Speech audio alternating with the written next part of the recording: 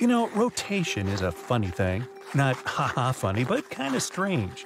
Not only can't you feel it, everything does it. From galaxies to atoms, the universe is taking us for a spin. Strangely, it was more difficult to prove that the Earth is rotating than it was to prove that the Earth is revolving around the Sun. Way back in 1610, Galileo, the father of experimental science, provided the first proof that Earth and all the other planets revolve around the Sun. Galileo showed in his telescope that Venus was going through phases like the Moon. The only conclusion possible was that Venus was revolving around the Sun. Case closed. Planets revolve. But it wasn't until 241 years later, March 31, 1851 to be exact, that Leon Foucault proved that Earth was rotating. Foucault installed a giant pendulum from the 220 foot high ceiling of the Pantheon in Paris. That's a lot of peace. An assembly of scientists and journalists watched as the floor turned beneath the giant pendulum. The Earth turns, they shouted, eh, mostly in French. Another strange thing about rotation is that although the Earth is rotating at a constant speed, the surface of the Earth is moving at all different speeds at all different latitudes. The same is true for every planet and star.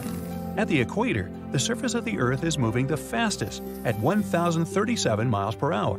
That's much faster than the speed of sound, which is a mere 761 miles per hour. Halfway from the equator to the North or South Pole at 45 degrees latitude, the Earth is rotating at 733 miles per hour. Standing at the North or South Pole, it would take you 24 hours just to turn around one time, and that's both boring and cold. One result of these differential rotational speeds of Earth is that it creates belts and bands not only in the atmosphere, but also on the surface of the Earth. Jupiter, of course, is famous for the belts and bands in its clouds caused by the giant planet's rapid rotation of about 28,000 miles per hour. The belts and bands on Earth's surface are somewhat overlooked, but we've got them too. We have white ice at the North and South Poles, and between the two poles, there are alternating belts and bands of dry sandy desert and moist green vegetation. This essential geography can be seen most clearly when we view the Earth rotating in space. Space agencies use the differential rotation of the Earth to their advantage. They launch their rockets as close to the equator as possible. NASA uses Cape Canaveral near the southern tip of Florida, and the ESA, the European Space Agency, uses the Guiana Space Center in French Guiana, South America, almost exactly at the equator. Because the land under a rocket near the equator is rotating at a greater speed, it gives the rocket a boost into space that launch sites near the poles cannot provide. You always want to save fuel, you know.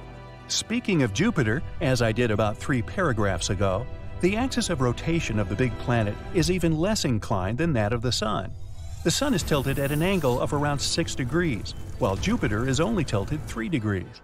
Jupiter stands almost perfectly upright, which combined with the great speed at which Jupiter is rotating, its entire day is less than 10 hours, it turns Jupiter into a giant gyroscope. Jupiter's gyroscopic stability, combined with its massive gravity, gives stability to the whole solar system. Jupiter prevents chaos factors from disrupting the orbits of the other planets. In other words, without Jupiter rotating like a stable gyroscope, the solar system could never have stayed intact for the billions of years that it has. Exoplanet solar systems are showing signs of chaos in their orbits. They could use a gyroscope like Jupiter to hold them together. Rotation is the real hero here. As for the Sun, its differential rotation has a big effect on its sunspot activity. Sunspots are spots or patches that sometimes appear on the Sun's surface, usually at mid latitudes in both the northern and southern hemispheres of the Sun.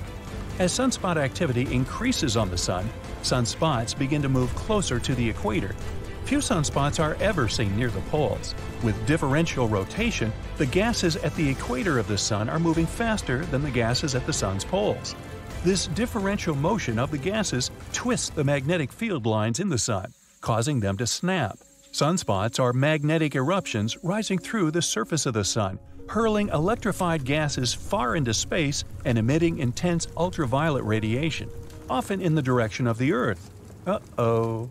Well, have no fear, Earth's differential rotation protects us. Not only does our Earth rotate differentially on its surface, but also down into its center. Studies of seismic readings of shock waves from earthquakes indicate the metallic core of the Earth is rotating slightly faster than the surface of our planet. Scientists think that the differential rotation of Earth's magnetic core within the slower rotating metallic liquid creates the magnetosphere arising from Earth's poles and extending far out into space. This magnetosphere keeps Earth safe from electrified gases from the Sun. Hurrah for rotation! Far out! Now, the 9.0 megaquake in 2011 off the coast of Japan rearranged the mass of Earth's crust and caused the rotation of Earth to speed up. The day got shorter. Eh, not much shorter, 1.6 millionths of a second, but we are accustomed to seeing the Earth's rotation slowing down. The Earth rotating through the tidal action of the Moon's gravitational effect on the oceans drains kinetic energy from the Earth's rotation, causing the planet to slow down. Each day is becoming longer, about two thousandths of a second longer. Well, I need to adjust my watch. Leap years, we all know, are when we add a day to the calendar every four years, on February 29th, to straighten up Earth's yearly rotation around the Sun, taking 365 and one quarter days. But leap seconds are added to the clocks every so often to synchronize our clocks with the slowing rotation of the Earth and allow the Earth to catch up with our clocks, as if the Earth is concerned about our timepieces. 27 leap seconds have been added since 1972. The last leap second was added on December 31, 2016, and made the clocks read 6:59:60 p.m. Yeah, I didn't notice either. But the sun's rotation has unexpectedly been speeding up recently. Usually it takes 86,400 seconds for the Earth to rotate, as measured by an array of atomic clocks in different locations on Earth and coordinated by a special service in Paris. Yes, they pay people for that. July 19, 2020 was the shortest day ever recorded, a whopping 1.46 milliseconds less than the usual 86,400. Gadzooks! If this keeps up for another five years, they may have to add a negative leap second to synchronize our clocks to Earth's increasing rotation. Computers and satellites won't like to see their clocks read January 1st at 0 o'clock, and they say time can't go backward. At least the Earth hasn't started rotating backward or stopped rotating altogether. That would be catastrophic. Everything would crash forward at whatever differential speed it was rotating on Earth. Yet, that appears to be what happened to the planet closest to Earth, Venus. Venus rotates very slowly backward, in retrograde, and that is very unusual. How so, you ask? Well, there are several theories to why Venus rotates in retrograde motion while all the other planets rotate in prograde or forward motion. Liquids inside a rotating sphere, like a planet, have a lot of inertia. That's why when you take an egg from the fridge, for example, and try to spin it, it won't spin. The liquid inside is just sitting there. Its inertia is resisting your attempt to spin it. However, if finally, after many turns, you manage to get the raw egg to rotate, it's hard to get it to stop spinning. If you do pick it up and put it back down, the egg will start rotating again because the inertia of the liquid inside it is still going forward. You only stop the shell from spinning.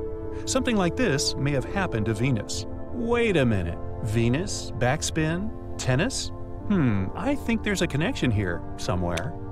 We know that on Venus, the planet, one day is longer than one year. It takes longer for Venus to slowly rotate around backward one time than it takes Venus to orbit the Sun once.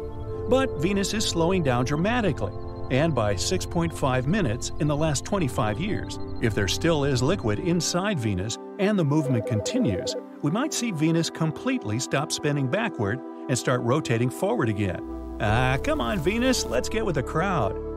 This business of retrograde and prograde rotation has got quite a bit of mystery to it. It seems that everything tends to rotate in prograde motion. If you shape your right hand like a ball and stick your thumb up to indicate north, then curl your wrist towards you, that's prograde motion. Your fingers on the left side of your hand are moving towards you.